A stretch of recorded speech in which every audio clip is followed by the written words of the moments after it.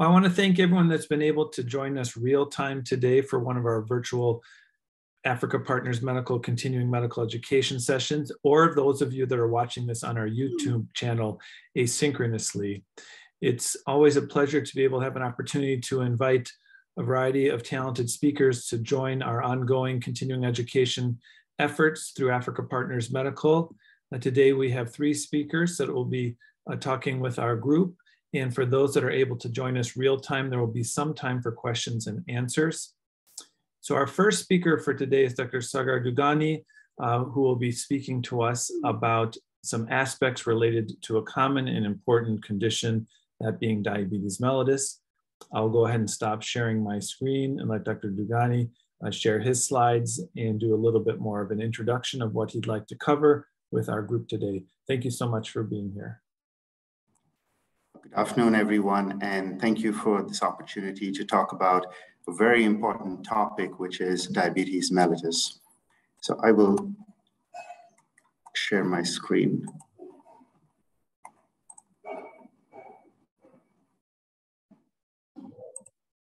Are you able to see my screen?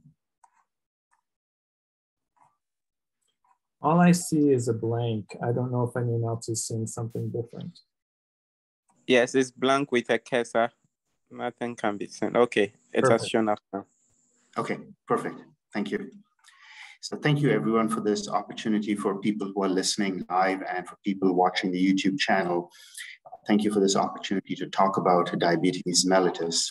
Uh, it's, a, it's a great topic and into a number of people and countries throughout the world. And so we hope this will be informative to uh, many people. My name is Sagar Dugani, and I'm a physician in the Division of Hospital Internal Medicine at Mayo Clinic in Rochester. I receive funding from the NIH, which is the National Institutes of Health, as well as from a Career Development Award at Mayo Clinic. I don't have any conflicts of interest for this presentation. Today, we will discuss the burden of type 2 diabetes. We will then move on to the diagnosis and management of type 2 diabetes. We'll talk about a consensus report on the management of diabetes, which fortuitously was published approximately two or three weeks ago. So we will be able to talk about some of the latest guidelines or recommendations on the management of type 2 diabetes. We'll briefly talk about essential medications as discussed by the World Health Organization. We'll summarize and then open it up for questions and discussion.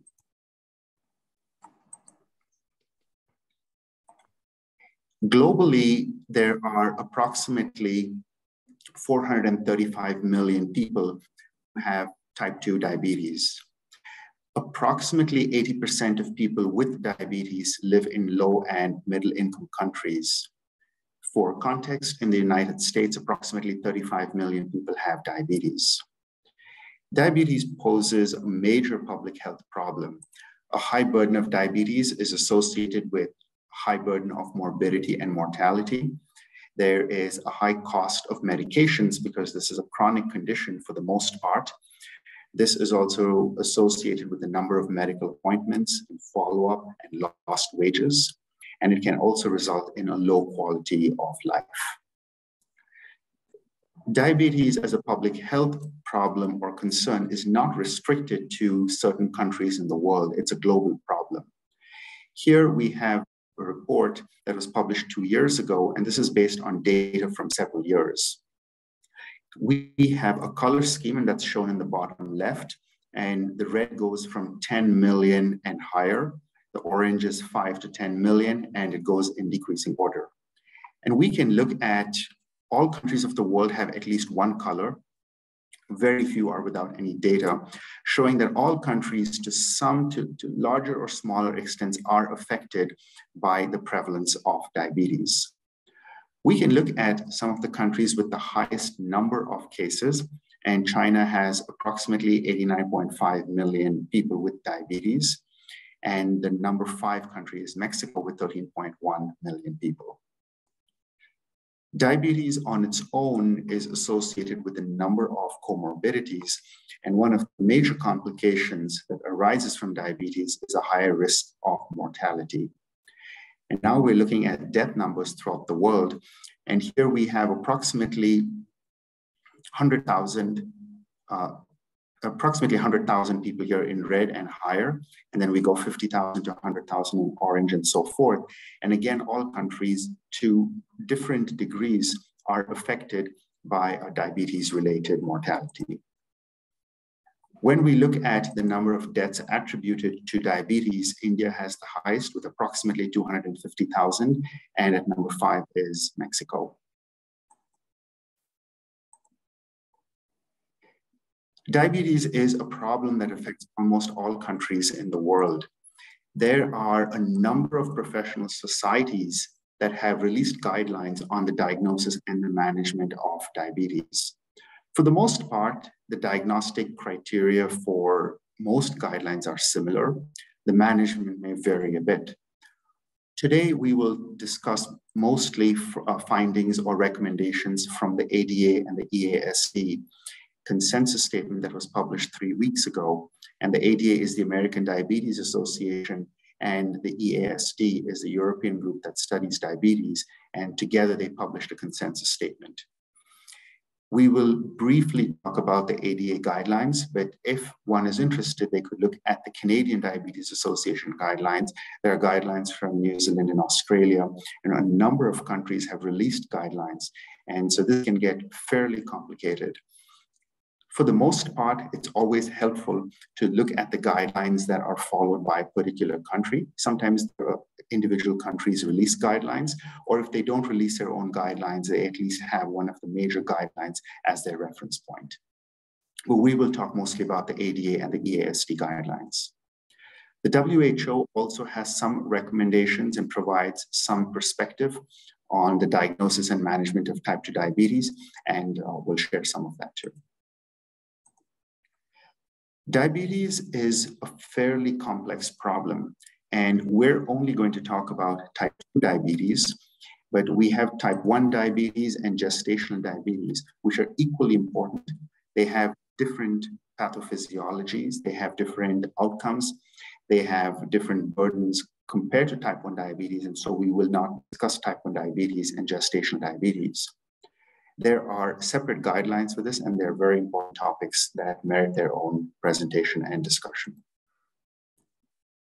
Briefly on the physiology of diabetes, we can start with the pancreas, and the beta cells within the pancreas release insulin. Insulin has a number of effects on different tissues throughout the body, but some of its functions include to inhibit lipolysis, they inhibit glucose production in the liver, and they increase glucose uptake in muscle and fat cells. In both in, in cases related to the liver as well as the muscle, the ultimate effect is on the levels of blood glucose. When we start to get progressive loss of the beta cell function, this results in a decline in the amount of insulin that is released there are a number of pathways that contribute to beta cell function decline. Not all pathways are well or fully understood. In instances where beta cell dysfunction occurs, there are a number of drivers for this. There may be a hereditary predisposition to beta cell dysfunction, uh, adipokines, which are hormones produced by adipocytes, Inflammatory pathways may contribute to beta cell dysfunction, free fatty acids, and a number of other factors. And what both what all these factors can do is they can have an effect on beta cell dysfunction or beta cell function, which affects the amount of insulin produced by the pancreas. These factors can also contribute to insulin resistance, and insulin resistance affects the ability of insulin to have an effect. And this insulin resistance is largely experienced at the muscle and adipocyte levels, which means that the muscle and fat cells do not take up a lot of glucose, and that extra glucose floats around in the blood, resulting in higher blood glucose levels. And this brings us to an important aspect of how diabetes is diagnosed. For now, most of the criteria are based on blood glucose levels, and we'll talk about that in more detail briefly. One of the major topics that comes up is how do we screen people for diabetes and how do we know if someone is at risk for diabetes? For example, if we're at home today, uh, we may ask ourselves, are we at risk of diabetes right now? The ADA, the American Diabetes Association Professional Practice Committee, published this self-assessment or self-screening tool to determine if you are at risk for diabetes now. This is based on modifiable and non-modifiable risk factors. The major advantage of this is it's non-laboratory, and we'll take a look at the criteria in a second. Patients may do this at home. They can self-identify if they're at higher risk for diabetes, and if they are, then they can try and seek care from a healthcare provider. One of the major concerns about this risk score is we're not sure of the validation in non-US cohorts. This was developed using populations in the United States. And there have been some studies looking at other populations, for example, in South Korea and other places, but we don't have, we, don't know if this will, if the score will work in all other populations. So let's take a look at this diabetes risk score. In the first point, they ask about age, and you get different points. And if you're less than 40 years, you get zero points. And all the way up to 60 years or older, where you get three points. So this is an acknowledgement that the risk for diabetes goes up with age. So you can add your score in this box. And then they ask about whether the person who's doing this is a man or a woman. If the person answering this is a woman, and they ask about whether they had gestational diabetes. And this is acknowledging that gestational diabetes increases risk for diabetes later in life. Number four asks about family history.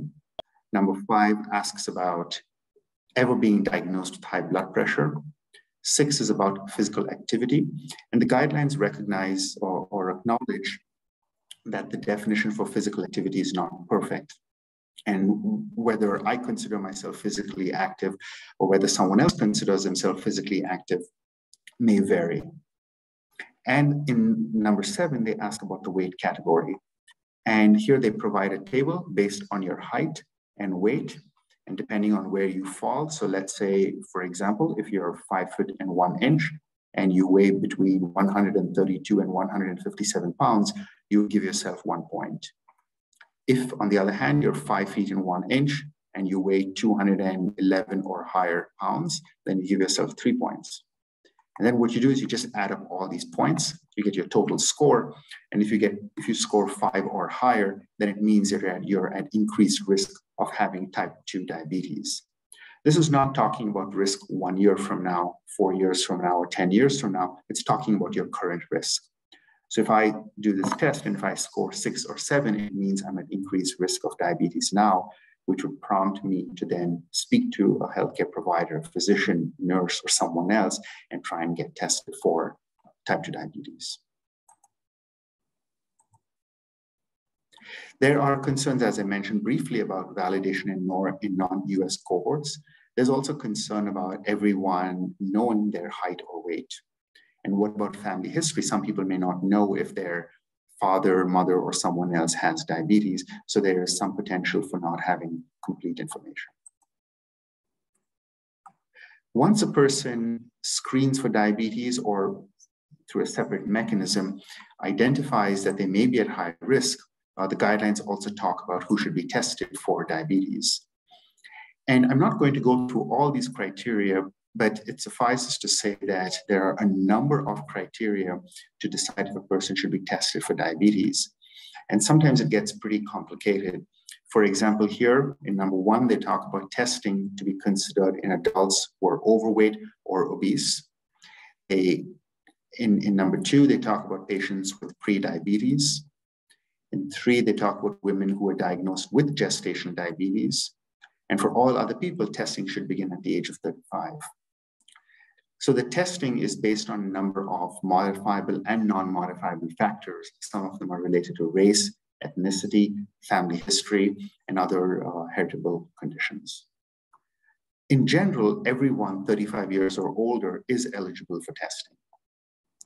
Younger age for testing is based on risk factors, which could be modifiable or non-modifiable risk factors.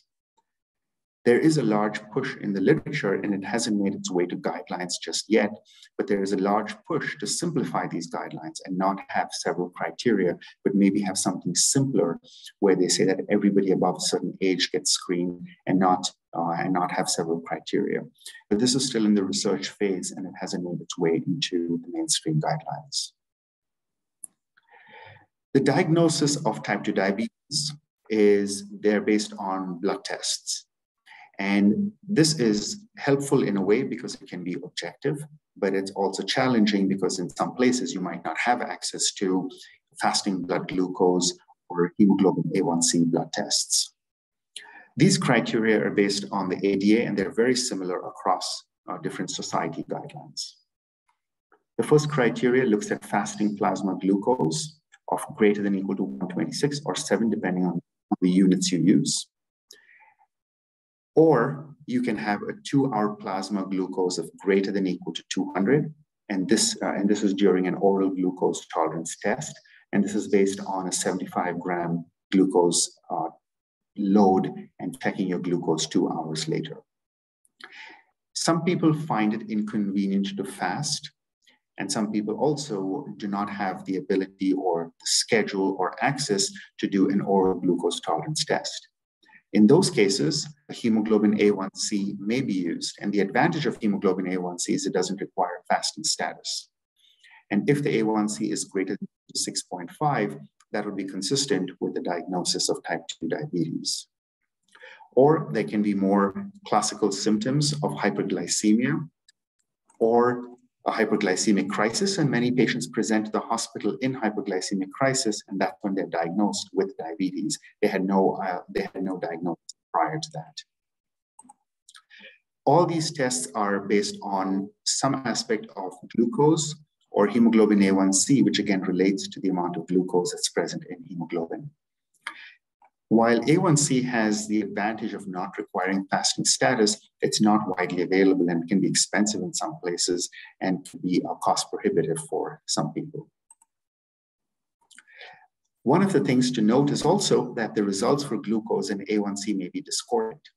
And there have been reports where patients may have a fasting plasma glucose that is above 126, for example, 140 or 145, but the A1C is within normal limits.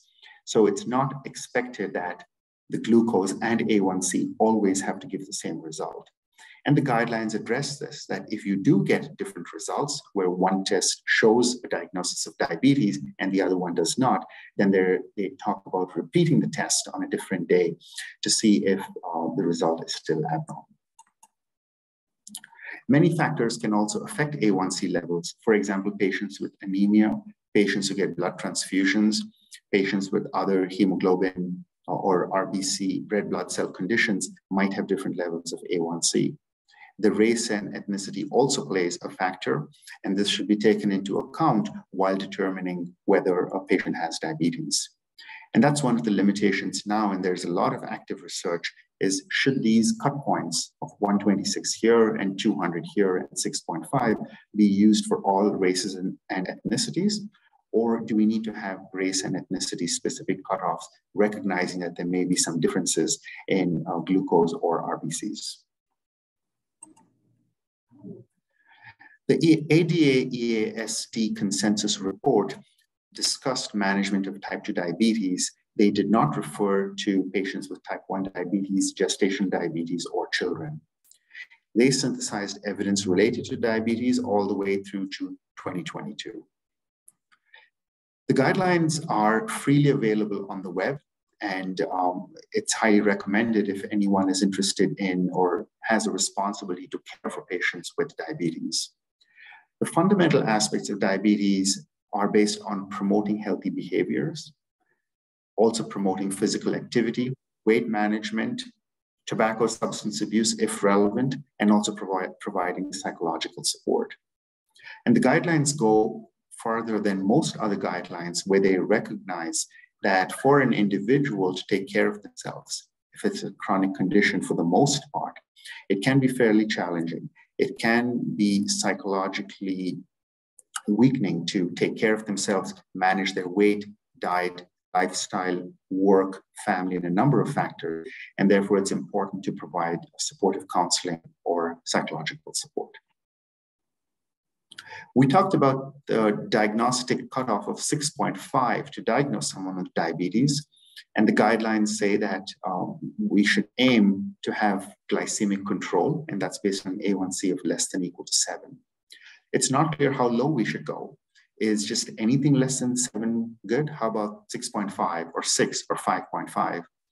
There have been some studies that showed being extremely aggressive in A1C control can result in hypoglycemic episodes, can maybe associated with increased risk of mortality. So it's not clear that going extremely low is the right answer, but this is an area of research. Management or, uh, or glycemic control has an effect on the onset and progression of microvascular complications, and this relates to retinopathy, neuropathy, and nephropathy. But there is less clear evidence for glycemic control and effect on macrovascular complications, which may result, which may relate to myocardial infarctions or heart attacks or strokes. The association there is less clear.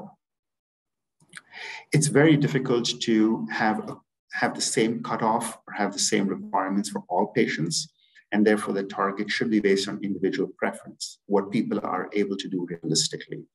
It's also dependent on the number of hypoglycemic episodes they may be experiencing, as well as individual comorbidities.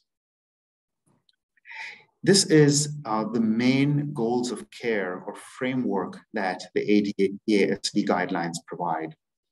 And I'm not going to go through all of it because it, we could spend um, several hours discussing goals of care and how we would tailor treatment options to individual patients.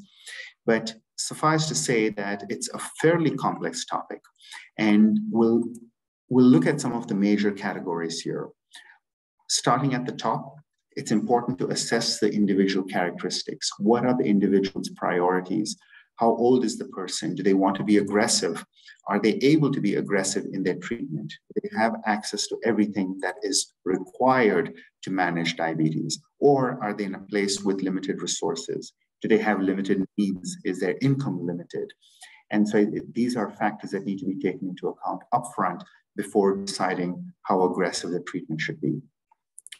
When we consider specific factors in the, in the pink box here, it's about individual goals for both weight as well as overall well-being. It's important to use a shared decision-making approach. It's, it's no longer sufficient for a physician or healthcare provider to say, here are the 10 things you need to do or 15 things you need to do, and you absolutely need to do this and come back in three months with outstanding results. That's not going to work anymore. So we have to work with patients, ensure patients have access to DSMES, which is diabetes self-management education and support, which is the cornerstone of overall diabetes management ensure that we as physicians or healthcare providers understand what the patient's preference is, understand what their barriers are, understand what their beliefs are, and tailor our treatment according to that. And once we do that, we have to agree on a management plan, and we can use the SMART goals approach to come up with something that will work for the patient, all the while providing support and counseling when needed we also have to implement a management plan for the patient and ensure there's regular review. And that, that regularity may depend on the patient. In some cases, it may be every three or four months. In some cases, if the patient is doing extremely well, it may be every six or seven months. But this is something that has to be tailored with the patient. And provide ongoing support and review and agree on the management plan. And if changes are going to be made, mutually agree between the patient and the provider that they're going to make these changes. They're going to see if this works, and they're going to again have a review and follow up of the plans. What is central to management of type 2 diabetes is uh, DSMES. And this is being able to have self-management, education, and support. And people have realized more and more that diabetes is complex.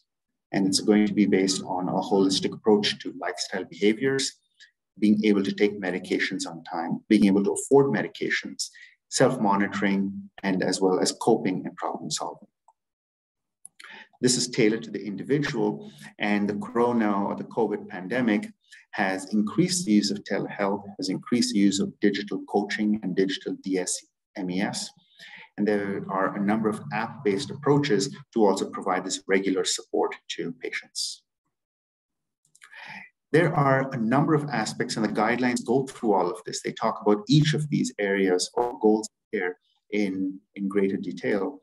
But I will talk about one or two aspects that seem to cross cut across uh, the different domains. For example, weight reduction is, is a major theme that comes up in the guidelines. And previously, weight loss was seen as a way to improve glycemic control and improve the A1C. But now there is increased recognition that weight loss of 5 to 15% should be the target for most people. And this is not only to improve the A1C, but this is to improve overall metabolic health. More weight loss can be disease modifying and can also help with remission of type 2 diabetes.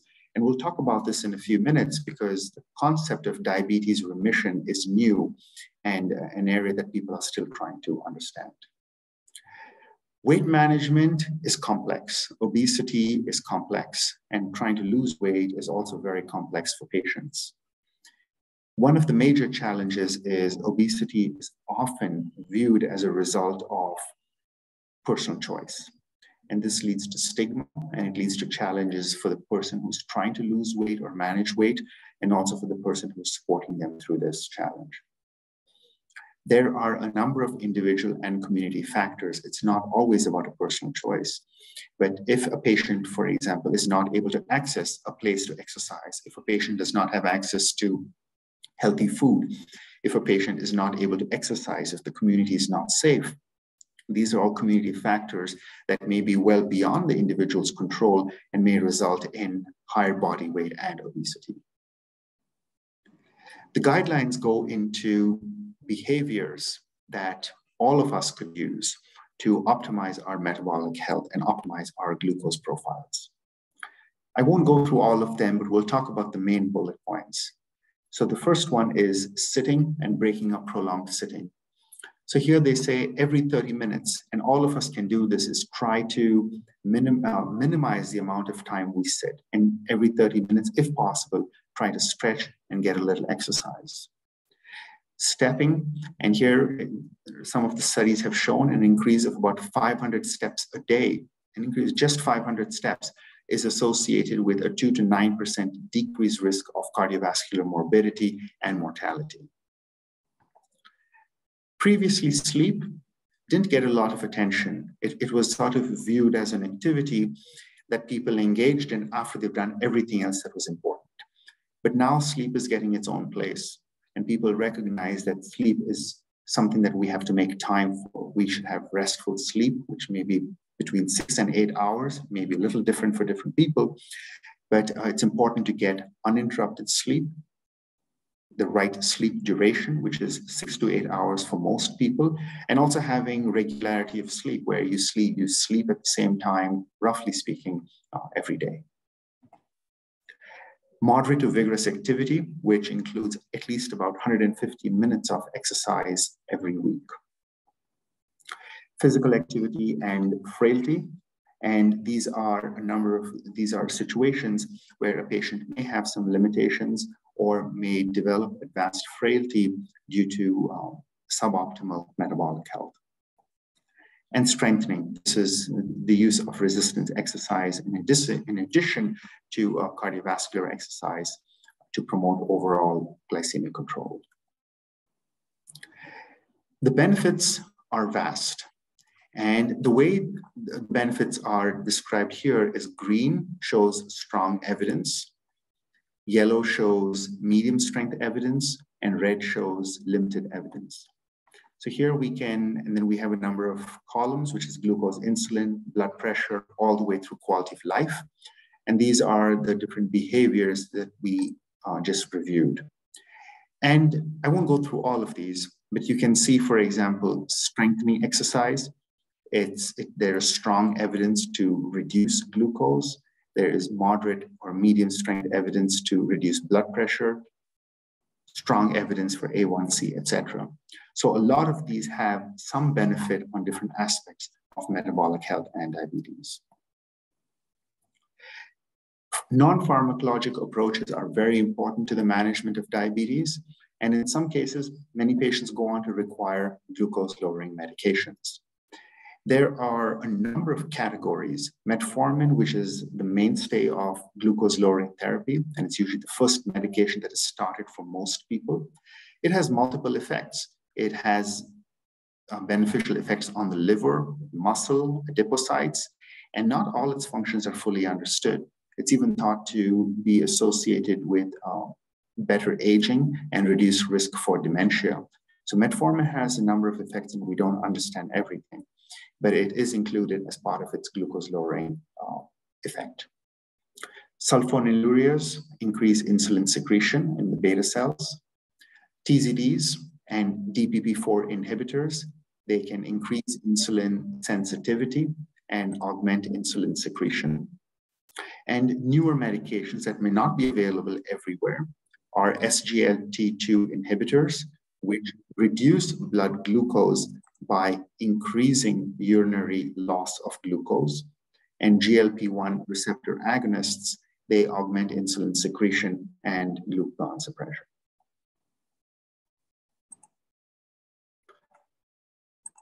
This is a fairly complicated slide, and I'm going to break it down, but part of this is to also illustrate that the management of diabetes as well as the use of glucose lowering medications is complex.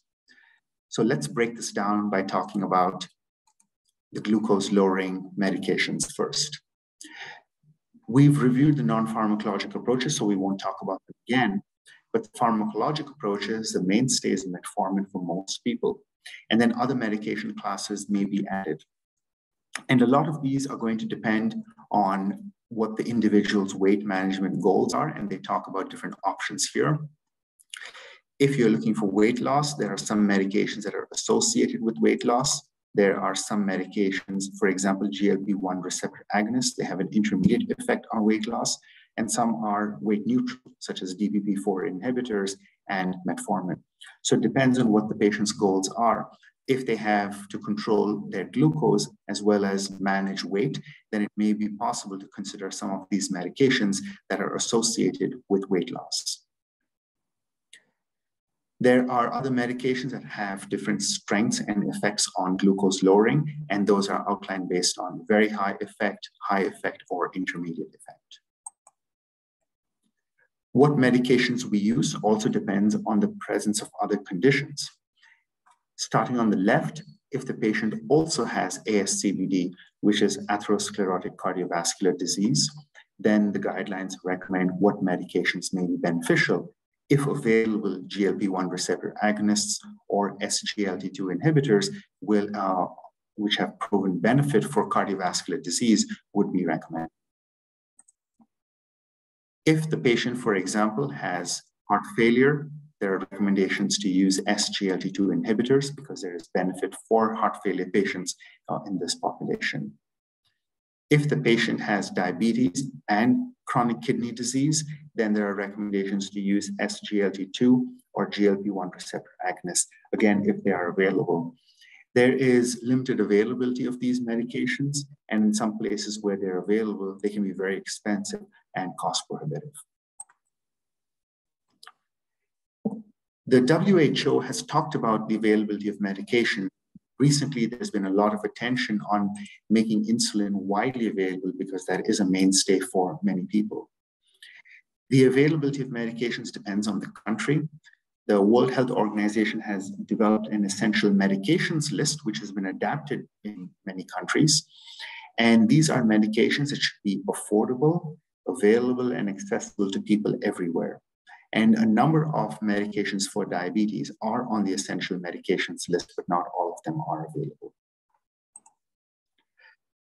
The cost of medications may be prohibitive for many people, and adherence is also difficult taking a medication every day, some medications twice a day, it's very easy to forget uh, to take these medications and it can be difficult to adhere.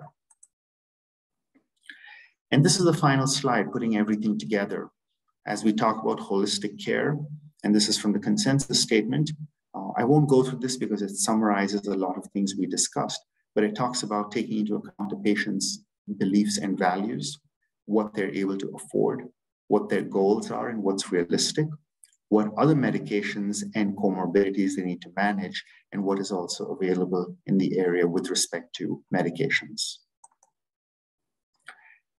As a final slide, I will mention diabetes remission because this is not a concept we talked about or thought about until maybe last year.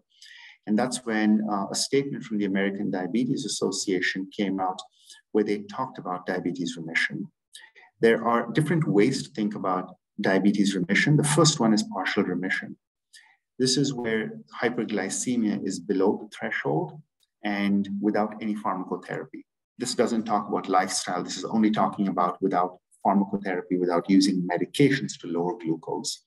So if a person is able to maintain this for at least one year without medications and have a glucose of less than 6.5, they're said to be in partial remission. Complete remission is if they have a normal glucose profile. So here they need to have complete remission, which is A1C is less than 6.5 and the fasting plasma glucose is less than 5.6.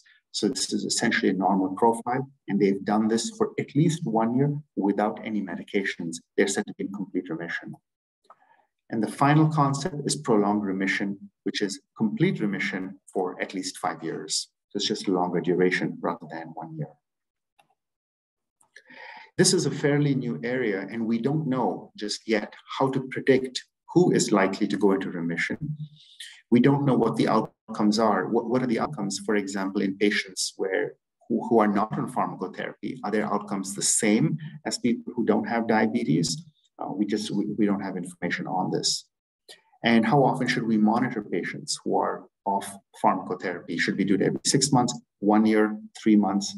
These are areas that we don't uh, we don't know yet. So to summarize this, diabetes is associated with a high burden of morbidity and mortality. Diagnostic criteria right now, and there are limitations with this, but they're based on glucose and or hemoglobin A1C. There's a lot of active research to try and identify different biomarkers beyond glucose and A1C. The consensus report pulls together recommendations from the American guidelines as well as the European guidelines to address diagnosis and management of type 2 diabetes. Non-pharmacologic management is, is key to overall diabetes management, even if they're off pharmacotherapy. And this and pharmacologic management depends on a number of risk factors that the patient may have diabetes remission is possible, and we are gaining more information on predictors and outcomes in this population. So with that, I will stop. I'll stop sharing my screen. I'm happy to take questions or uh, have any other discussion. Thank you.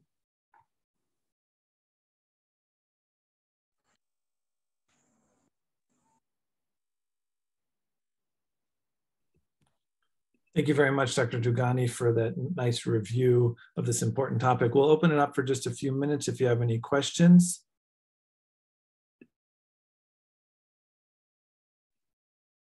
Please feel free to either unmute or use the chat.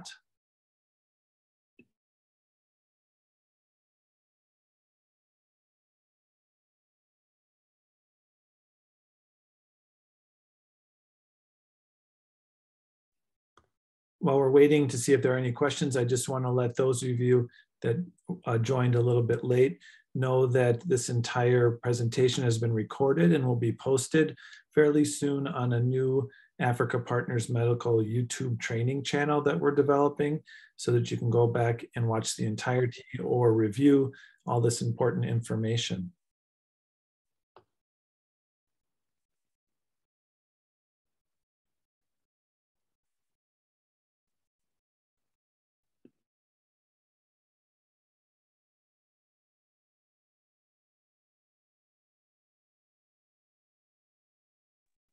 It seems that you covered the material in such uh, great detail that no uh, clear questions coming right now.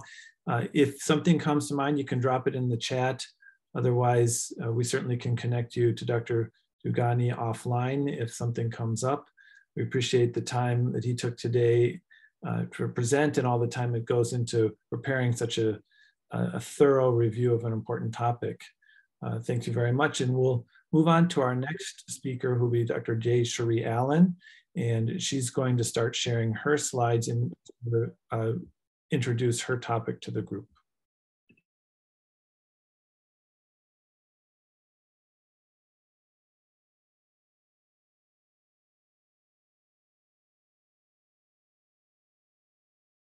Okay, hello everyone. Uh, I guess good night or good evening. Um, are you able to hear me? Uh,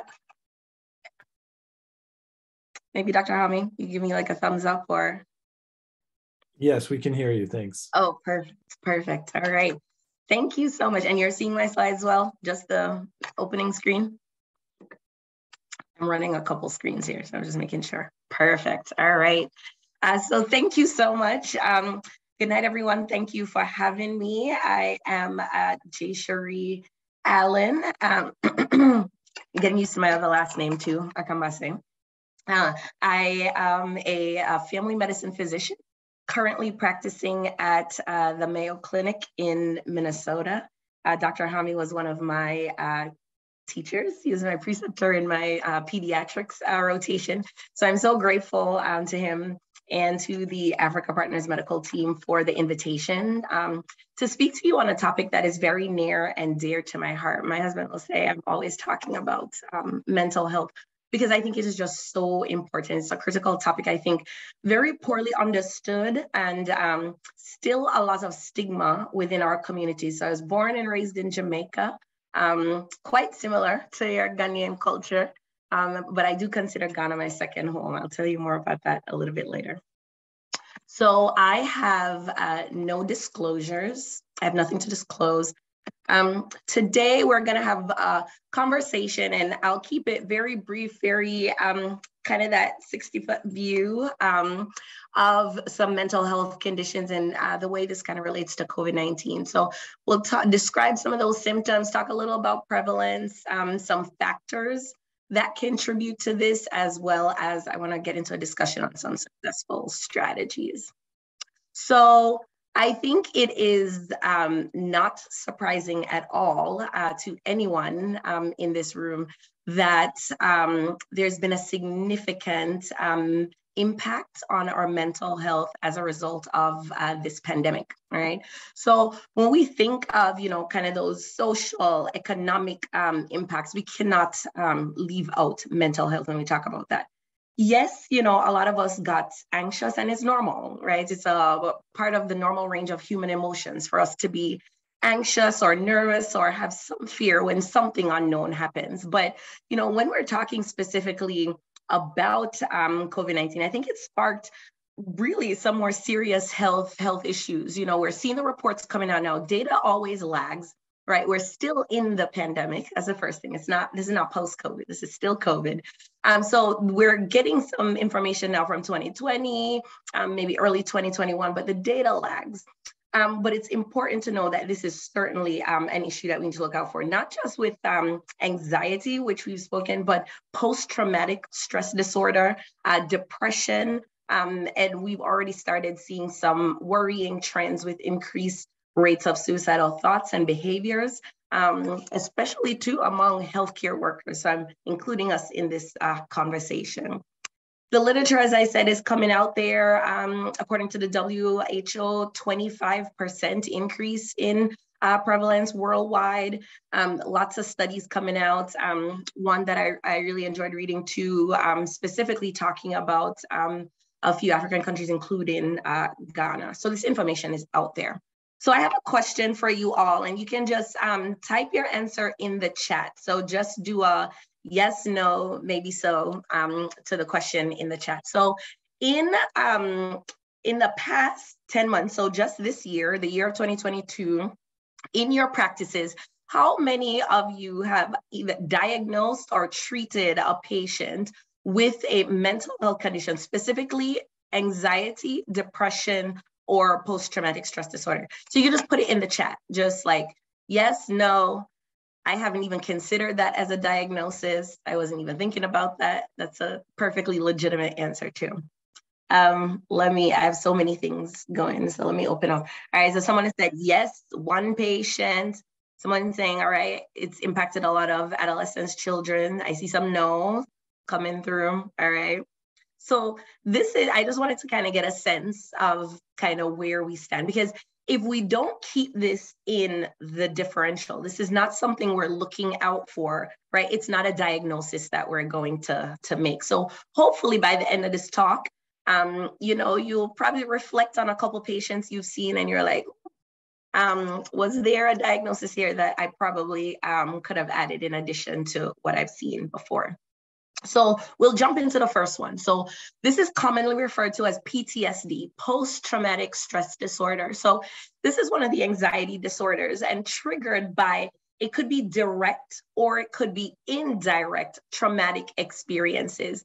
We're talking about exposure to death. I told you we're gonna, I'm going to include us as healthcare professionals in this conversation and I mean, this is something we see, you know, not daily, depending on where you are in your practice or um, what specialty uh, you are in. But there is a lot of exposure uh, to death. But more so with this pandemic, um, there has been increased uh, exposure to death. There are some people who this is the most, um, whether it's illness or death, they have seen um, at one particular time. So it doesn't have to actually be death. It could also be the threat of death and then also serious injury or um, sexual violation. But essentially, what you go through or what your patient goes through causes them to feel this intense fear, um, this horror, this kind of sense of helplessness. And that is the issue. But it can't be a one day thing, right? So you can't have something that happened to you once and it affected you once and that's it. So um, this is quite a multidimensional issue, but the symptoms need to occur for more than one month, and they must cause distress or impairment in either your social, your occupational, or some other important area of uh, functioning. And what you'll see with some of these patients is now they'll start to avoid anything associated like with the trauma or they start to become unresponsive to some of these traumas. So you know they're avoiding like the thoughts and the feelings or conversations even around whatever that traumatic um, issue is. They're avoiding activities that remind them of that trauma as well. They're forgetting important details um, about it. Start losing interest in things that remind them um, of that trauma. And then it becomes difficult for them to maintain and form healthy social relationships kind of moving forward. And it, it impacts their hope for the future. It really does a number um, on them. And so, with this, though, we're finding that these traumatic um, event exposures can be grouped into like four sort of big categories, right? So, intrusion avoidance, you know, the changes in the thoughts and the mood, um, changes in arousal and reactivity. So when I talk of intrusion, so let's start there. So some notes on that, right? It's that recurrent, the unwanted like memories just keep playing over and over, right? Almost like you're reliving or your patient is reliving the event as it were happening again. Sometimes we call that flashbacks, right? Um, having upsetting dreams or nightmares about this event or some severe emotional distress. Then when we talk about avoidance, you know, whether it's like talking about it, recalling um, the actual events, or avoiding places and activities that remind um, people of these events. Then the negative mood uh, changes, right? So start kind of talking down, you know, becoming a little hopeless.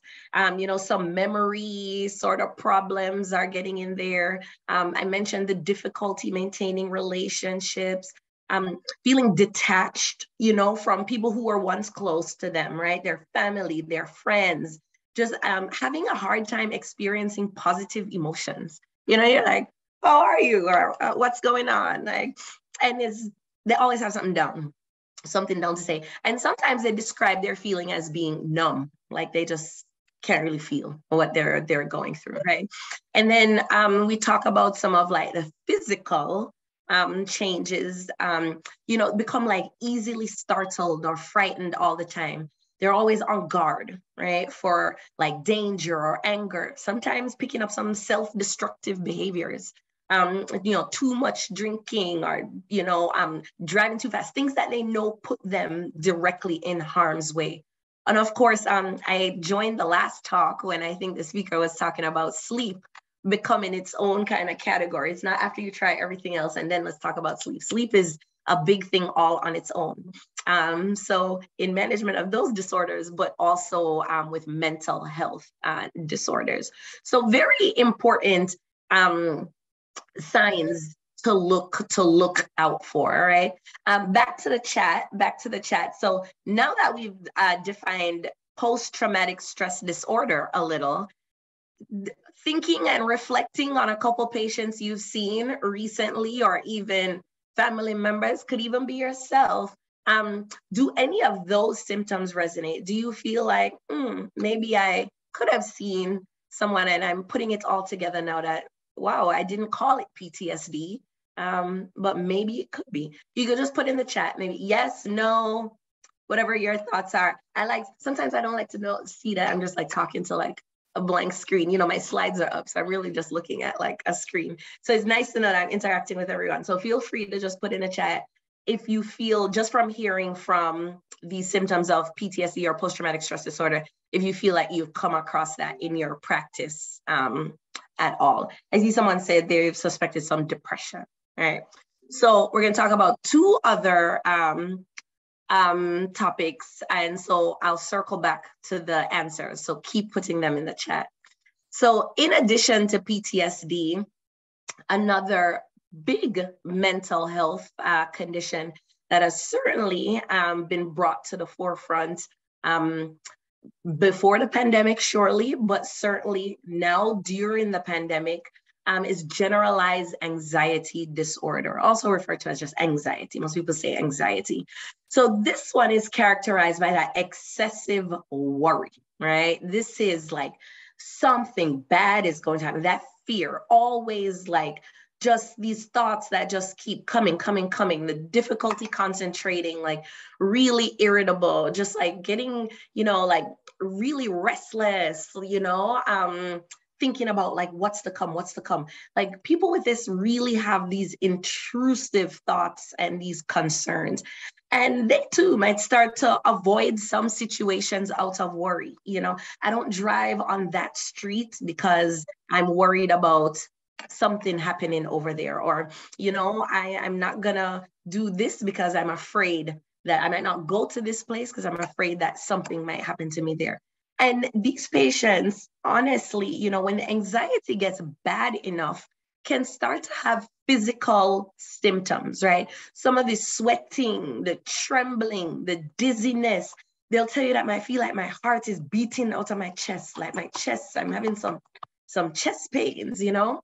Um, so one thing I'd encourage you to do, you know, you need to do a cardiac workup. Please complete a full cardiac workup on your patients um, as you deem clinically appropriate when they come in for evaluation of chest discomfort. But uh, add this to your differential as well, especially when all the tests are coming back negative, right? Your ECG is negative, your labs are negative, your echo is perfectly normal. There's no history that supports an acute, um, you know, coronary events, like start to ask about anxiety. One of the tools that we use for that is um, the GAD7 or the GAD7. So seven questions that's kind of um, help you to stratify where your patients um, kind of are. So there are some, um, I guess, uh, symptoms that we'll, we'll run through really quickly. So feeling restless, I told you, wound up on edge, easily fatigued, difficulty concentrating, being irritable is a big one. Um, you know, the headaches and the unexplained muscle aches and stomach aches. When you see patients like that, start if you've done your thorough clinical workup, right? You've looked at the labs, you've done a full physical examination, and you're like, what else is going on here? Um, please, please add this to your um, diagnosis, your potential uh, list of diagnoses, so your differential. All right, next big one. And keep putting in the chat if you've seen any of these in your uh, practice um, recently. So major depressive disorder is a big one. Um, you know, this is also called depression. It just goes by the name depression. Also goes by clinical uh, depression. Um, this one is a serious um, mood disorder. So it's different from like usual like mood fluctuations. Everybody has good days.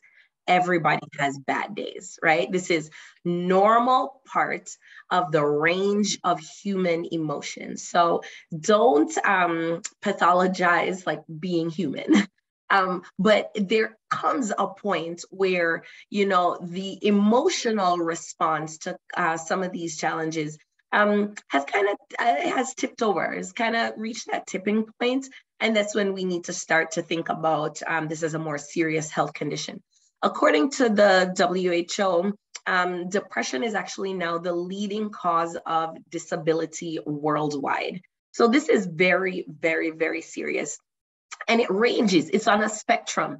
There are people who are completely functional and still able to show up to work every day, show up in their personal lives, care for their families, put on a smile, and do what they need to do, but are still struggling. And right, going all the way to, you know, um, the heart attack per se, or, you know, that um, event we wish to prevent um, on that spectrum of uh, depression, you know, now we're talking about suicide. It's now the leading, uh, the fourth leading cause of death of individuals 15 to 29 years of age. So we have a serious problem on our hands here. Um, symptoms and what they look like. Depressed mood most of the day or nearly every every day. It's just it's not a one-time thing, right? You're not sad today and or your patient isn't sad today and they're okay tomorrow.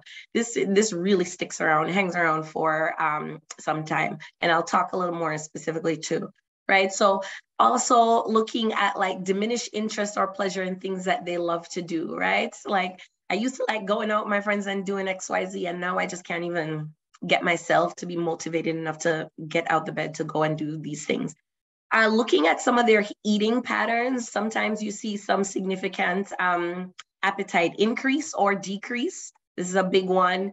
Um, a slowing down of their thoughts and kind of like a reduction in their physical like movements. Um, this is also another one. And this is how, as you know, friends or colleagues, as physicians, you can also help out your um, patients and even your family members, right? When sometimes when people are really in the thick of things, you know, mentally they're not well, they are not um, the best person to identify that they're not doing okay. So that's why it's important to surround yourself with a good community of people who can help you to pick up on some of these things.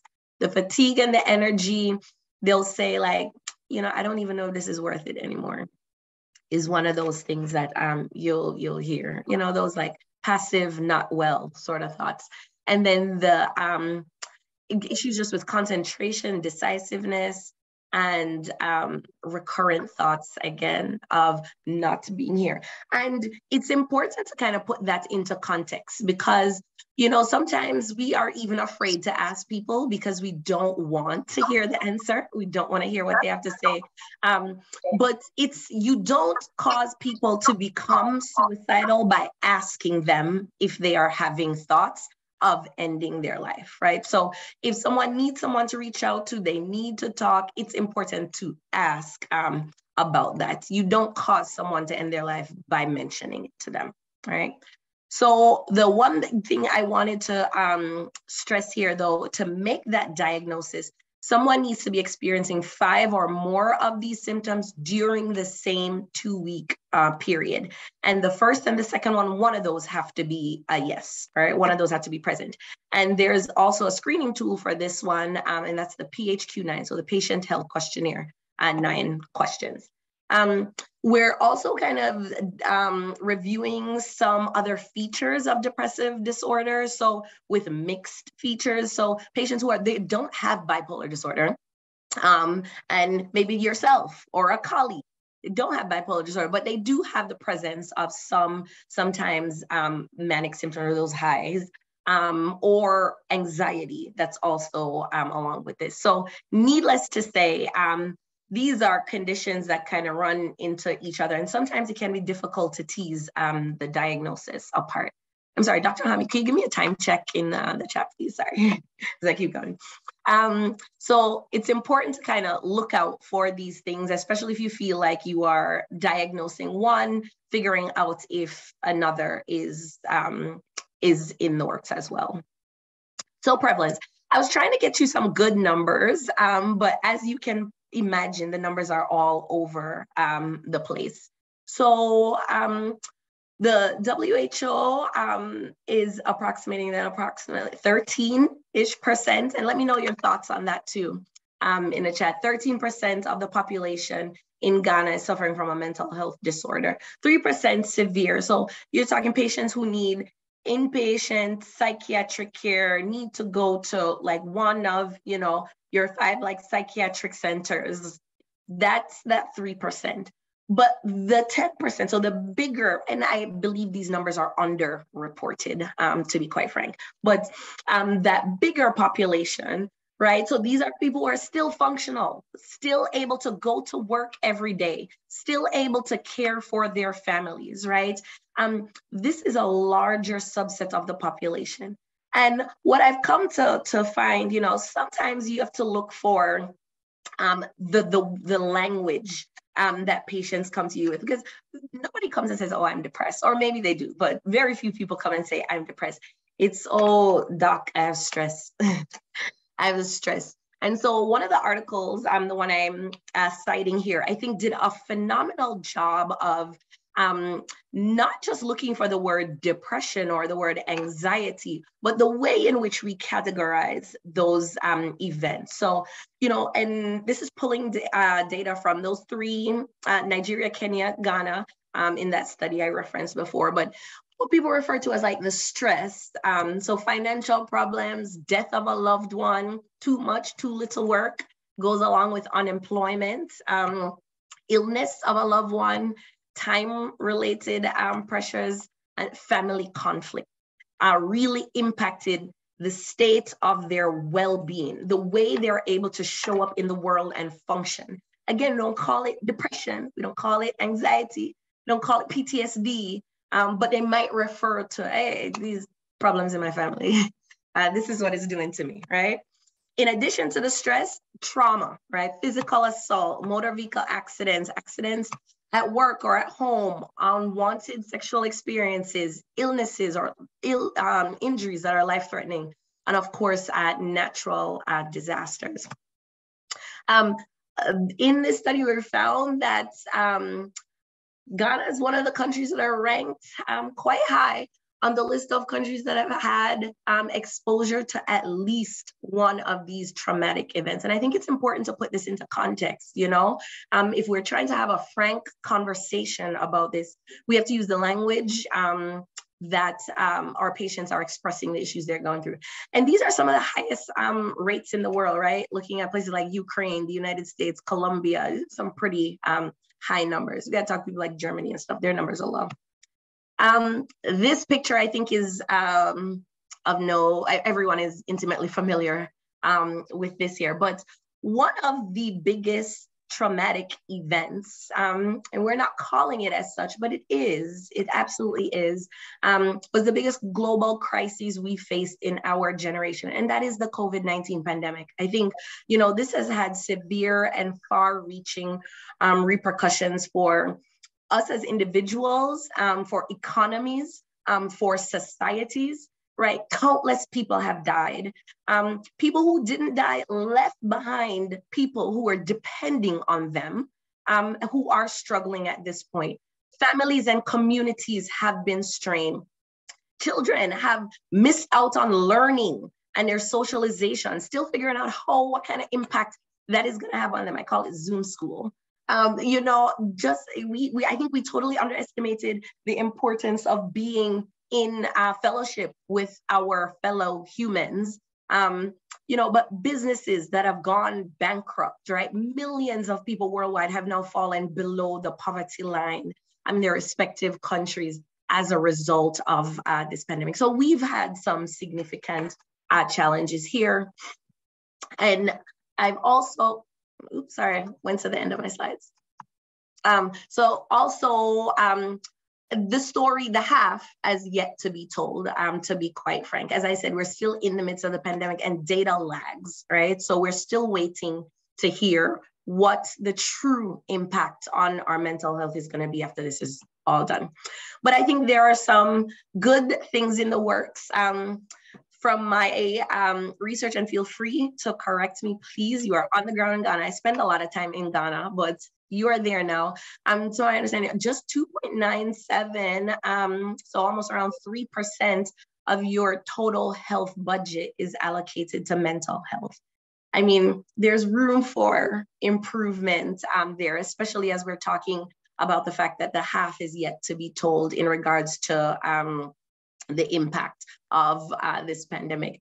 You know, but one of the strategies um, that I think is on the rise or on the way, you know, we typically think of patients with mental health conditions needing to go into a psychiatric facility where they're going to a, Accra Psychiatric or whatever, wherever it is right? Thinking that we need to send them to like a psychiatric hospital.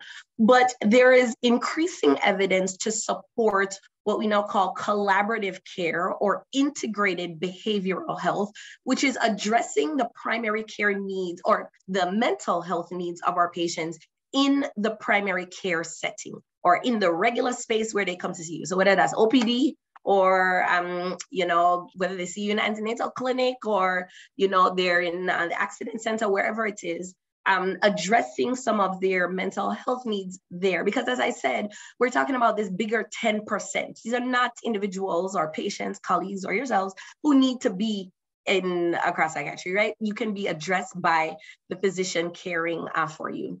Um, my mentor, uh, Dr. Kurt Engstman, happens to um, concentrate his research in this area. And so there are lots of articles out there that um, provide um, information on how to kind of establish or get these collaborative care practices going forward. And I think this is one of the ways to reduce stigma and therefore increase our patients um, comfort in seeking help because they don't need to go to X place um, to go and talk about the stress and the trauma impacting them, they can go to their usual doctor and they can bring um, this up as well. You know, I'm family medicine, so as a primary care doctor, I think this is near and dear to my heart.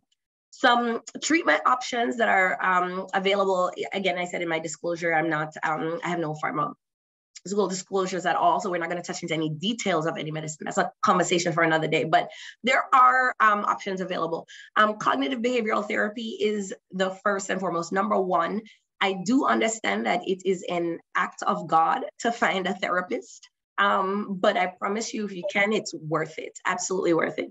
Um, and then there are medications, right? So we're talking about SSRI, selective serotonin reuptake inhibitors. That's your, um, you know, sertraline, fluoxetine, like meds that we can have another conversation um, about. And some of the oldies but goodies, you know, tricyclic antidepressants. Those are your like um, amitriptyline nortriptylines. Um, very good evidence um, for uh, depression, anxiety. Um, I wanted to, and I'm I'm winding down on time, but I um, cannot express to you the amount of people who have come to me and asked me, and they're like, so Jayshree, what is like, what exactly is therapy? What is this therapy thing? Why does this therapy thing mean anything? I think my husband's probably laughing at me right now because he said, I just I live on a hill to talk about therapy. Um, so I wanted to give you that. I, that's the only treatment option I wanted to get into a little bit of detail about because you, I want us to understand why um, this is impactful, why it makes a difference, and therefore why it actually is uh, recommended as first line treatment for mild to moderate um, depression and anxiety. So psychological par- problems, right? We talked about the stress, we talked about the traumas, um, that kind of you know help to facilitate some of those issues. But they are in part you know when they become pathologic right? So not i'm sad today i'm okay tomorrow or i'm anxious today i'm okay tomorrow. I'm not talking about that. It's when we tip over to edge into we're talking about pathology now right?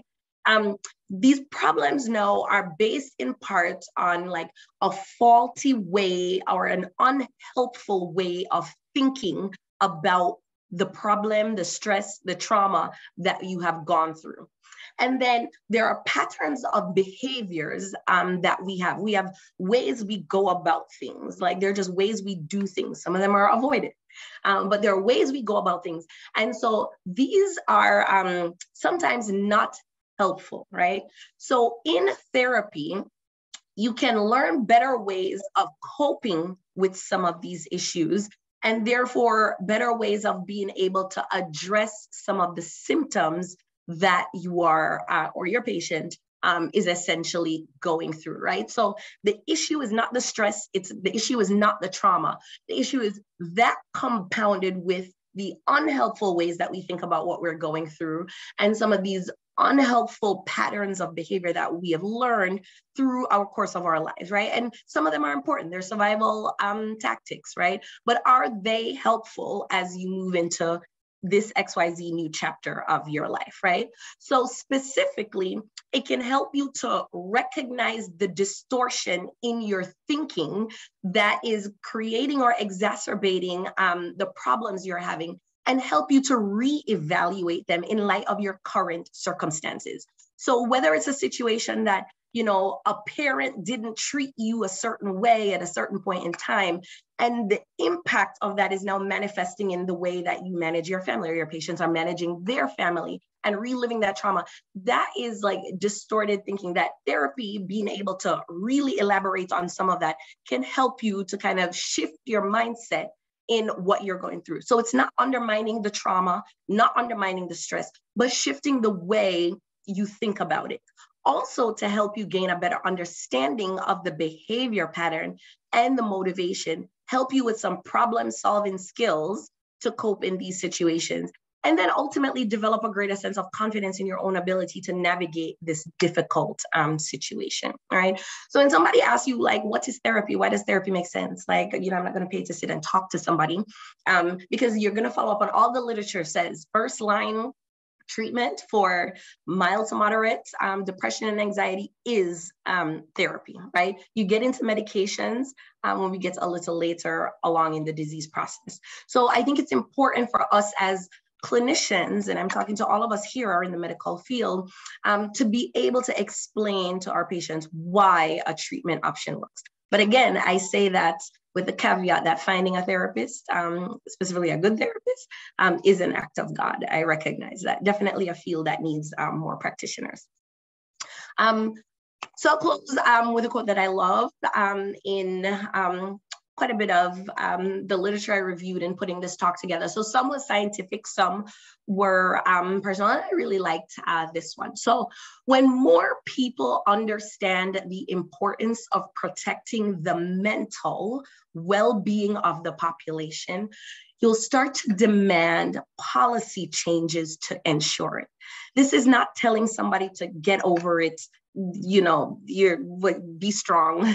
Um, and pray. Pray is important. You need to pray. You can pray and go to therapy. You can trust god and go to therapy at the same time. They're not mutually exclusive right? But transparency and this is when we talk about stigma um, about mental illness will become a norm and will gradually render fear and this labeling obsolete we have to clear the path for people to be able to openly and honestly speak about their feelings and how the stress and the trauma in their life is impacting that, including this pandemic, right? It's important. And when I say policy, you know, we're talking of things like schools providing psychological counseling, right? Religious leaders considering devoting time to improving the emotional and mental well being of their members. And again, us as medical and health professionals placing an emphasis on this, right? You won't make the diagnosis that you don't think about. And so it's important that you add this kind of to your your differential as you're going through, you know, patients kind of going through the list of issues they have. Um, so with that being said, you know, I told you guys Ghana is my second home. Spent quite a bit of my earlier years in medicine um, there. This was me in Apam, uh, which I absolutely loved my time there. Spent a couple weeks there. Um, worked at Korle Bu for a little bit. Um, even gave, um, I was in the residency, uh, the family medicine residency program there with my mentor, Dr. Roberta Lamptey. Um, but of course, Ghana led me to meeting um, the most incredible human I have ever had the opportunity um, to meet. And now I get to share live with him, Dr. Joseph Akambase. Uh, so thank you all um, so much for the opportunity to talk to you. Um, here are my references. Um, and I am willing to answer some uh, questions. I think I am at time, 220, Dr. Helmy. I'll stop sharing. Very well done, very precise. So thank you for sharing such an important topic with our group today. And we'll open it up for a few minutes for questions for Dr. Jayshree Allen. And you could put them in the chat too if you you um don't want to say it out or anything. I'm totally fine reading from uh you can send it privately, a direct. Oh Lord, guys, don't leave me hanging. It's okay. yeah, I, am totally fine answering any questions. I'm also fine sharing um, my slides to Dr. Hamid with the um, kind of the symptoms written out and diagnostic criteria and that sort of thing too. I'm totally fine doing that. Thank you for that. I, will actually have a question for you. You mentioned the focus of this was both for our patients, but also for ourselves and our colleagues.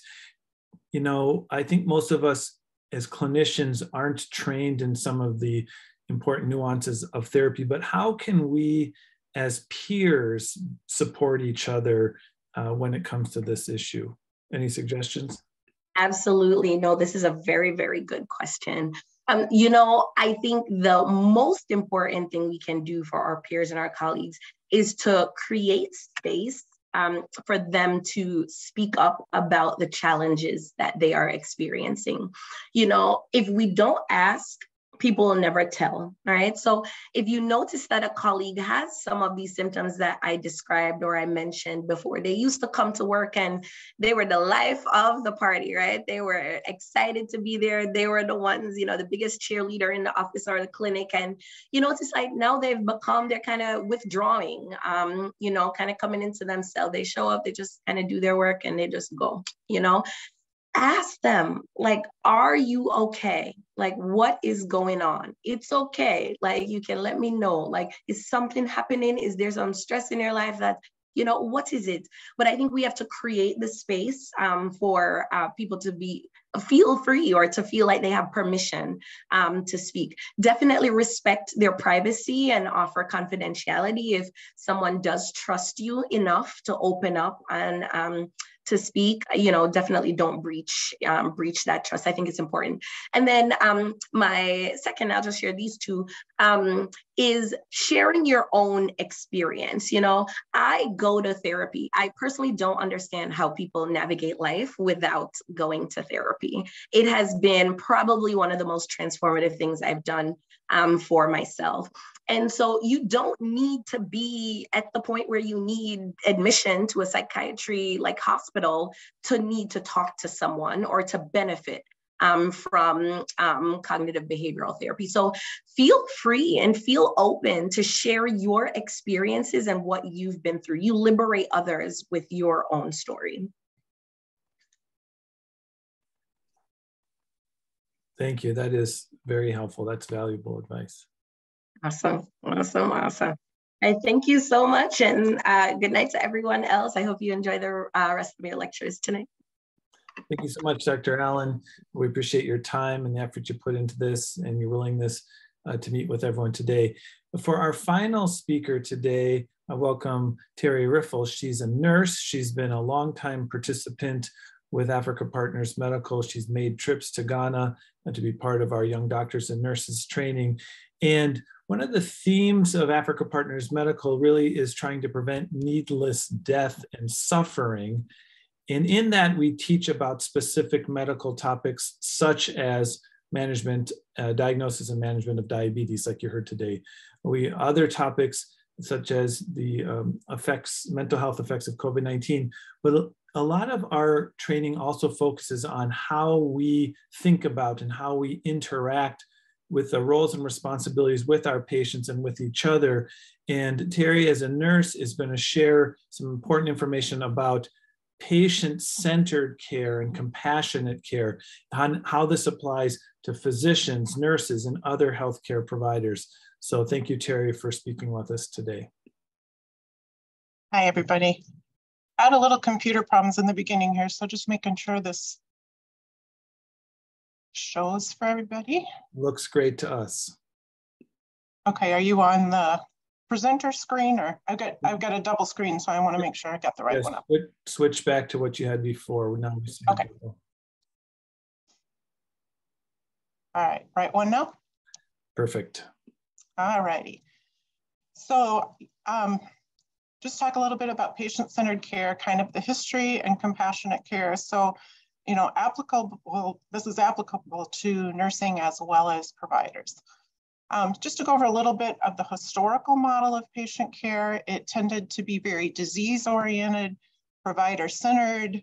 The care was organized around the needs and desires of healthcare professionals instead of the patient the passive patient, not involved in the care decision making. Things were done to them, not with them as part of the team.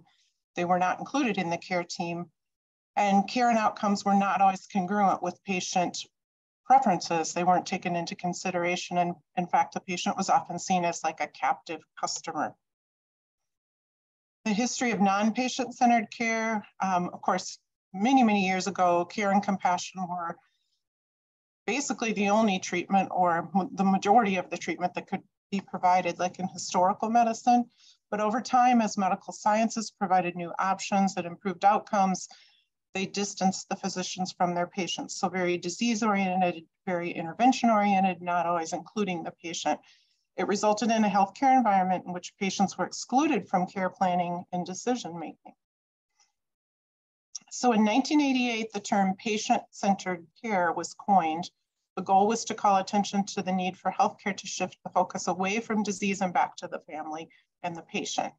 The term was meant to stress the importance of understanding the experience of illness and addressing patients' needs.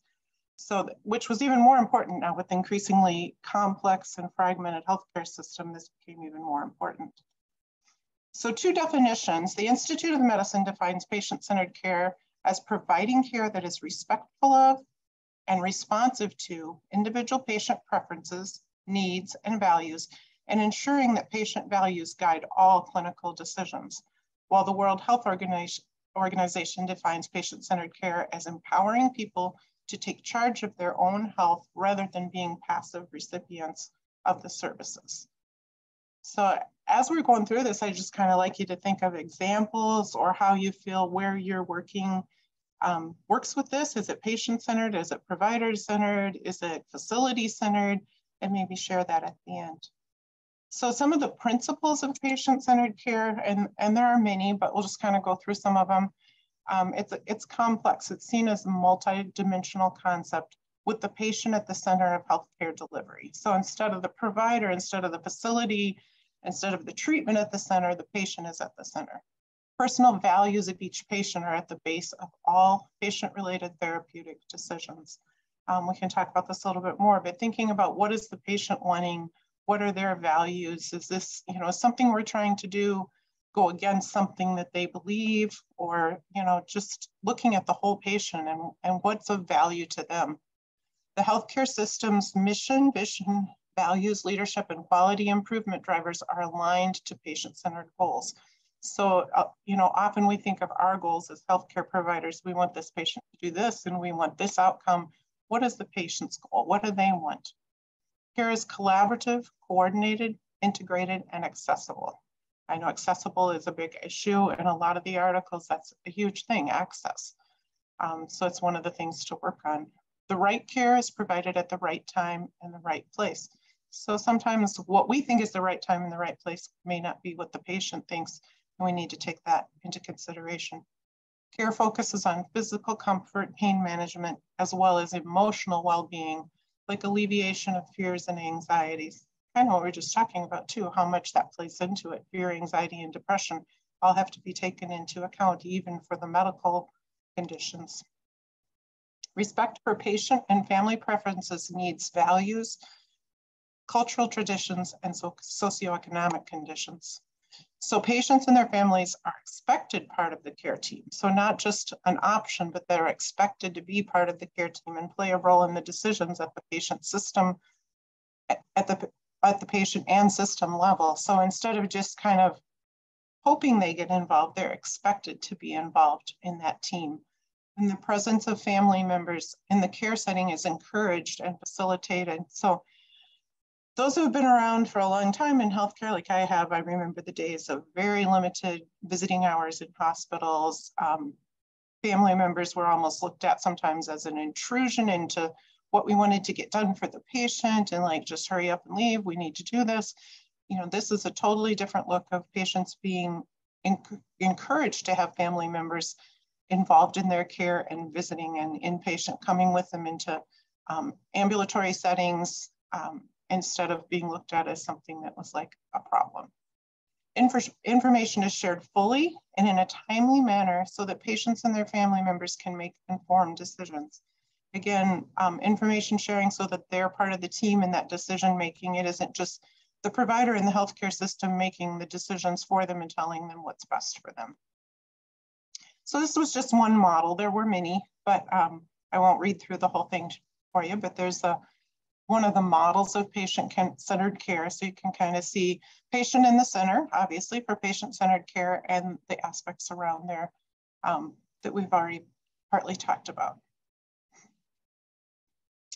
So that given, what things are not patient-centered care? So giving patients whatever they ask for or want, you might think, well, yeah, that's patient-centered care if we're looking at what the patient wants and then we should be giving them what they ask for. Well, not necessarily. What patients want is not always what they need. And a happy patient with an appropriate care is not patient-centered care.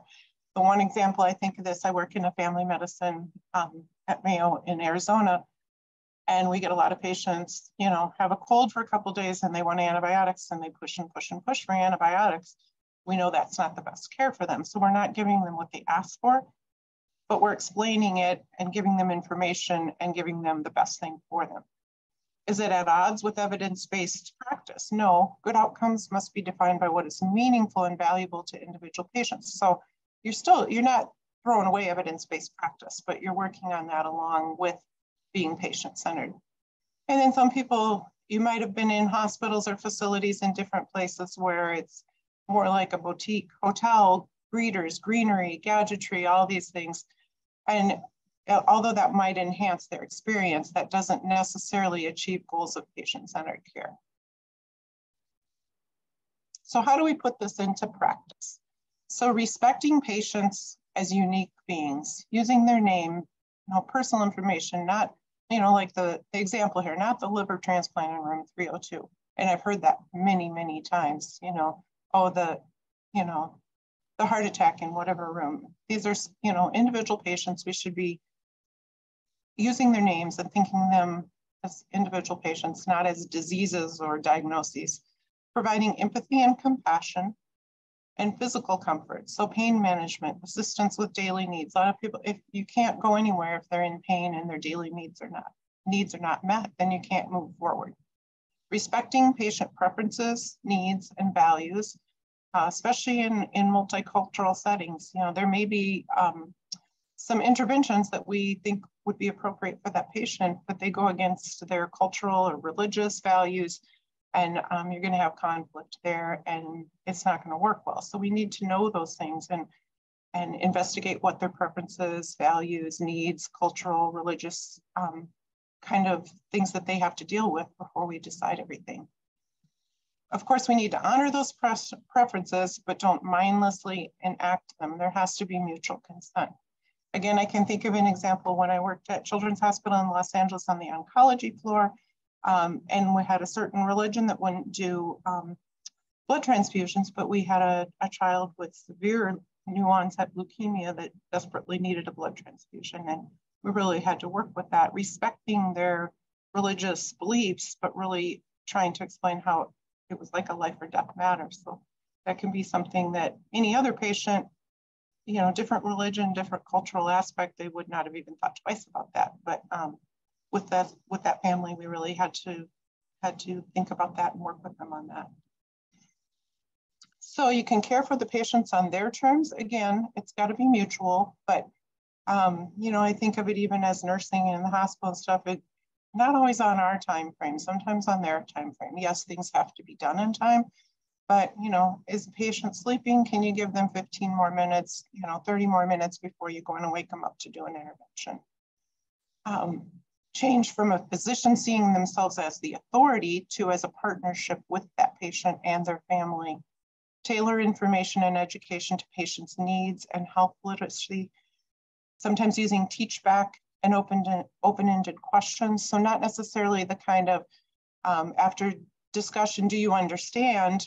But um, can you tell me in your words what I explained to you and your understanding of this? So those very open-ended questions, often a patient, if they're just asked, do you have any questions or do you understand? No, no questions. Yes, I understand.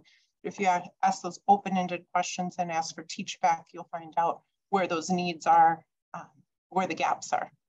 Involve patients and families in care, invite patients to participate. So, you know, there again, it, including the patient in that care team in the discussions, in the um, deciding of care, they need to be part of that.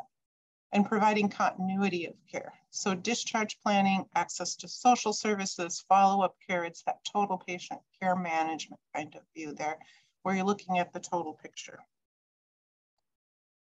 So what are some of the outcomes of true patient-centered care?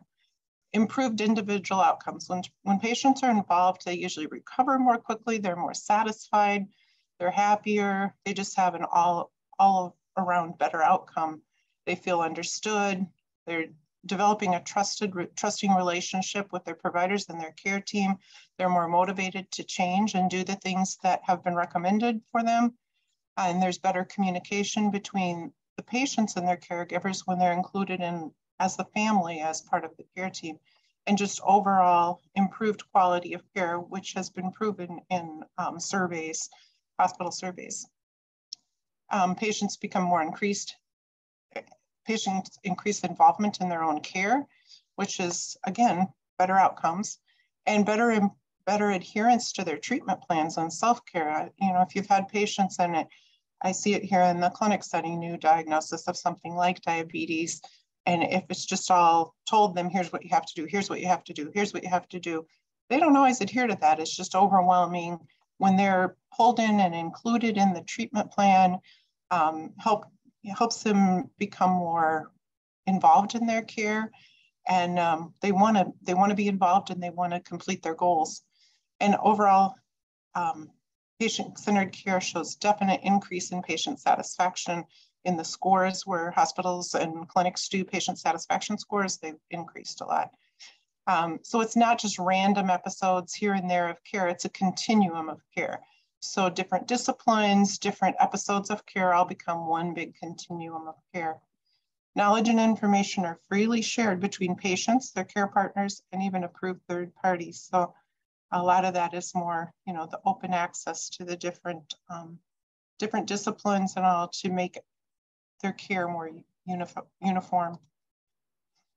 So patients are more likely to return, um, improved preventive care. So, you know, a lot of these things, the preventive care is, is as important as treating the diseases and the concerns at the time. But that preventive care, if they're if they're included in the team, they're more likely to keep up that preventive care and again, improved overall patient satisfaction score, scores and even improved staff morale, morale and productivity. So if you have you know, patients that are compliant and are included and it's a team approach, um, that helps overall with staff too. And improved resource allocation, decreased expenses. So it's been proven that engaged patients are much healthier and incur fewer costs than non-engaged patients. And I'm, I'm sure we could talk about a lot of examples of that. Um, but a patient that's not engaged and not following their care plan and included in their care often end up with more and more complications that become more and more costly. So some examples of patient-centered care in action, um, family members being invited to, to a visit, to visit during appointments, hospital rounding, shift changes, so they can be part of that care team. They can participate in discussions, they can help in the care decision making instead of being asked to step out or wait in a waiting room. Uh, and I know I've seen that. Um, I've done a lot of international travel and also, you know, years ago where you know, like when the physician's going to speak with the patient, asking the family members to step out, or when nursing is doing a certain care, asking the family members to step out.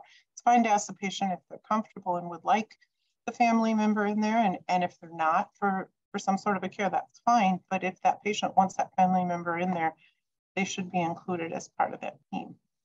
And just even things like customized medications and therapies based on um, patient's individual genetics, metabolism, biomarkers, immune system, and other signatures like the pharma, um, pharmacogenomics tests instead of just standard treatment. And I know, you know, here at Mayo, we've been doing a lot of those, the, the cheek swab and the whole rundown of the um, genomics testing to see if patients are on the correct medications. So where does nursing come in? So that was all more provider-centered and, and patient-centered care is usually typically ad addressed more to providers, but nursing can also implement patient-centered care. They have um, crucial influence on the patient care experience, their satisfaction, and perception of being in the center of the care and included in the care. So what are some ways involving the patients and family and nursing bedside reports? This has been proven over and over to reduce errors and improve communication. There again, if the if the patient and family are involved, you know, sometimes nursing or providers may say something and it's like, no, that's not right. That's not how that happened. Where if the nurses and the providers are off separately away from the patient and the family, you know, that correction may not be there. Um, obviously, nursing and providers have a lot of patients and it would be easily easy to just maybe make a mix up. If you get that patient and the family in there, you're going to be much more accurate and reduce errors nursing, as well as providers, these both apply to both, can identify the unique needs of each patient. So, you know, there again with the some of the examples I already talked about, um, you know, one patient may have a unique need that another one may not have. Maybe even just something as simple as knowing the patient's hard of hearing. So making sure during rounds um, that that the providers involved are speaking loudly enough that the patient hears or that the family member that's hard of hearing hears um, just you know being cognizant of those things listening to patients and help practicing shared decision making again not only with um, treatment decisions but even just in care like or, you know is this a good time to do something again i understand we can't always meet just their exact schedule needs but you know giving them some choices and utilizing advanced communication skills i know there's a lot of different classes um, we have at Mayo and different kinds of classes that are just out there on the internet for advancing your communication skills that can be really helpful. Um, involving patients in nursing assessments, again, making sure you're not just deciding what's going on, but you know, involving them in what you're assessing. And empathy and compassion, that's of course something we should all, as healthcare providers, be providing to patients. So compassion is a fundament, fundamental element in nursing practice and in education. Compassionate care definitions, there are many. There's never been a consensus as to one definition that defines compassionate care, but it is a value, an emotion, um, which can be contextually and culturally specific. It often is used interchangeably with other terms such as caring, sympathy, empathy, thoughtfulness, kindness, understanding patient needs. So all those are part of compassionate care even though there's not one standard definition of that compassionate care. So what are some of the elements of compassionate care? Listening to patients and families and acknowledging their feelings. So not only just answering questions, but acknowledging their feelings. Um, I just had a patient yesterday that we were having a lot of difficulty getting some advanced imaging for their mammogram because there had been an abnormal on their initial mammogram and and she was very anxious and i just needed to acknowledge that to understand this is taking a while for a lot of different reasons um, but i know you feel really anxious and she just appreciated that i had not acknowledged that she was very anxious. Caring actions to provide support are the art and essence of nursing developing a connection or relationship with patients from one shift to many years even you have patients that you see over and over and over if you're developing that relationship with the patients, that really helps their overall care. Um, I, again, just an example, I see this in the Medicare patient visits I do year after year after year with the same patients, and we've developed a strong relationship, and and they feel they can, you know, they can trust you once you've developed that relationship. you, you develop that trust and rapport.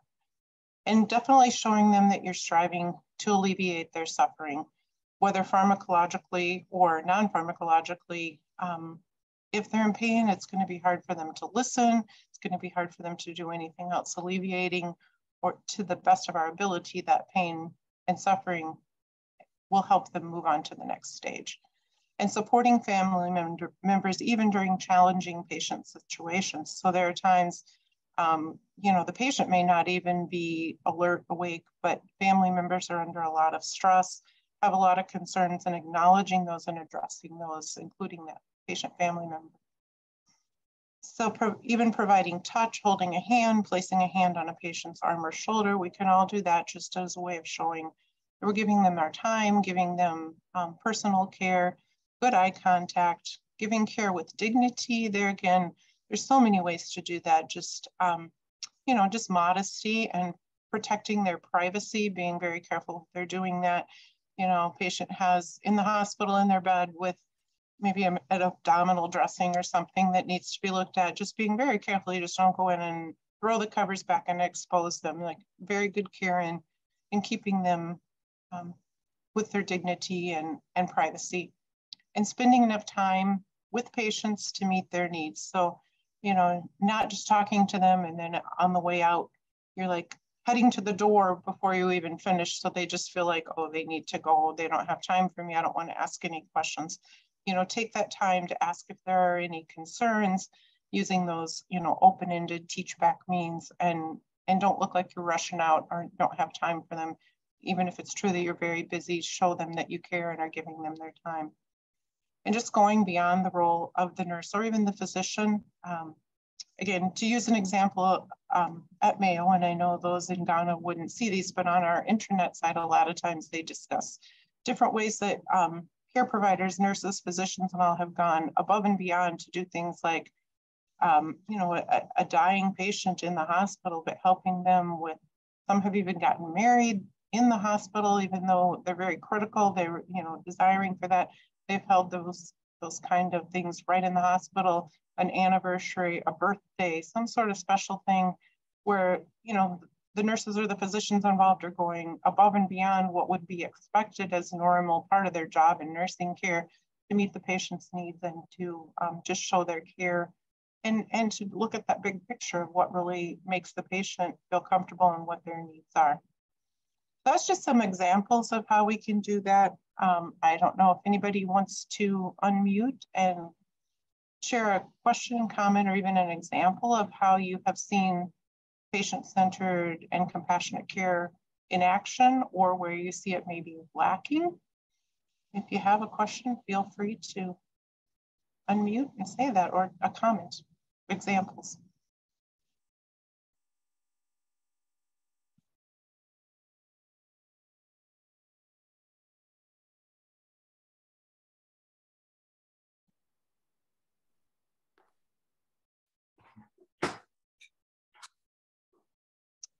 I can think of lots of them, but I don't want to always share mine. So if anybody has any, I'd love to hear them. If not, do you have any questions? Feel free to unmute and ask them or throw them in the chat, and I'm happy to share the slides.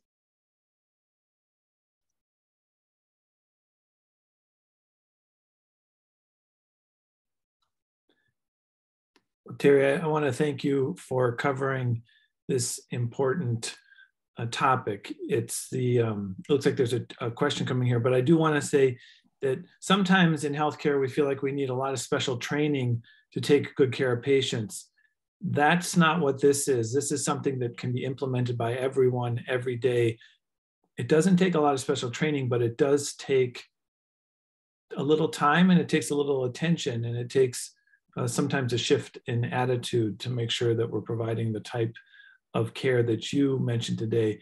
And there's often like, what's in it for us? Well, you covered very clearly improvement in outcomes. And that's ultimately, I think, as healthcare providers that we want to see as good outcomes for the patients that we're serving. In the chat, there's a question about what's the difference between patient centered care and family centered care. Do you want to share your thoughts on that?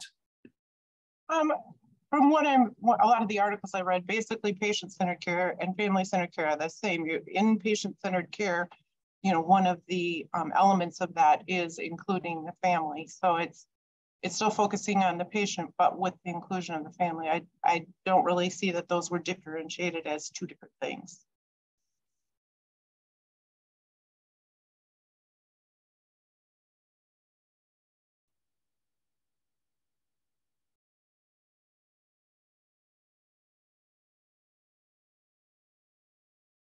I don't know if that answers the question or if somebody, if, if you see it a different way or have another question about that or um, have a comment about that, feel free to jump in. Well, I'll comment uh, from the perspective of a pediatrician where my patients almost always have family members with them.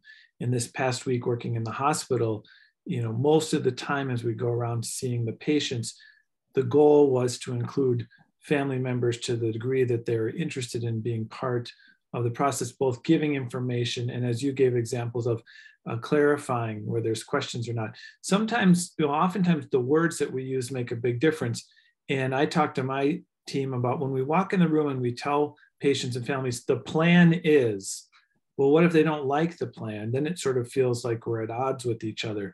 So I try to remember to use words like our recommendations are, and giving reasons why are those so it feels a little bit more collaborative but having the patient and the family involved in both us giving them information but getting valuable information from them as we come to decision together. I did see a hand up. I don't know if someone had a question they wanted to ask. Feel free to unmute yourself. I just wanted to say too, I work with one of our um, providers who I've heard her many times. I mean, she'll say this to nursing as far as things too, but she'll say to families, she'll kind of do the, you know, here's what I'm thinking, you know, and she always ends up with, what do you think? What, you know, what do you think? Will this work? What, what are your thoughts? So she always includes the patient and family here with, you know, I want to know what you think and, and is going to work for you. Can you do this? And I appreciate that. And I see patients love her. They, they really appreciate that part of it. Um, the other thing I think is that we've probably seen this as far as um, COVID when they wouldn't allow the fam, you know, as many family members in, or or for a while there, I think any family members in the hospital. That was really really hard for patients. So I think we can see that effect, um, kind of as the previous presentation. That made a big effect on on patients in the hospital. I don't work inpatient, but I heard a lot of that was very hard on patients when they couldn't have their family members right there with them. I want to mention a comment that was made at one of our in person training sessions a few years ago. And it's real. We had some young physicians mention that if they try involving patients in the decision making, if they ask them for their opinion, sometimes the response they would get was, Well, don't you know what you're doing? Why don't you get me a doctor or a nurse that knows what they're doing instead of asking me what I want to do? So it can be challenging. Sometimes it, we can come across as maybe being uncertain of ourselves.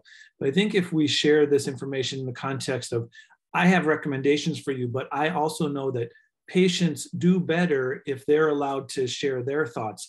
Would you, do you have any thoughts you'd like to share with me? Um, so instead of setting up a situation where again, it, culturally, sometimes it feels like if they don't just tell me what to do, it means they're unsure. Or, but we know that over time, really, if we can get people involved in their healthcare decisions, they tend to do much better. Right, and I think that you know, putting forth your plan of care of what you're thinking and recommendation, but then asking their input or if they think that's something that they can do, um, maybe helps with that.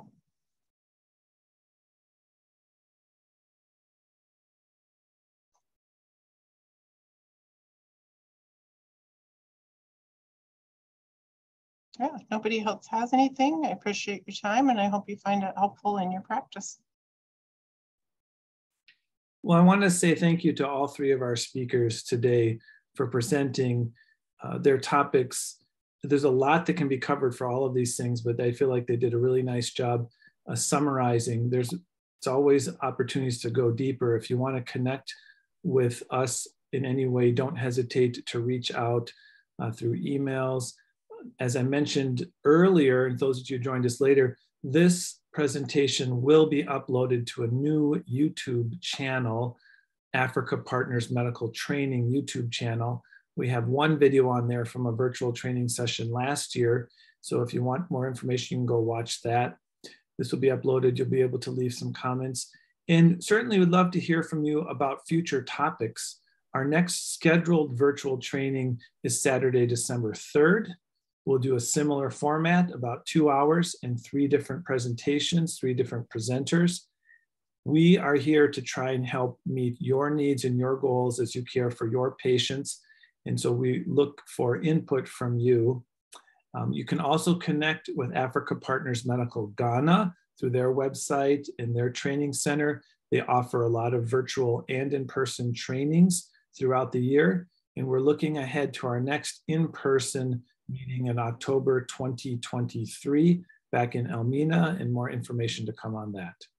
So once again, thanks for all your participation today. We hope you have a good rest of your day and your weekend. And thank you all for the care that you're providing for your patients on a day-to-day -day basis. We're here to support you and encourage you in that. Take care.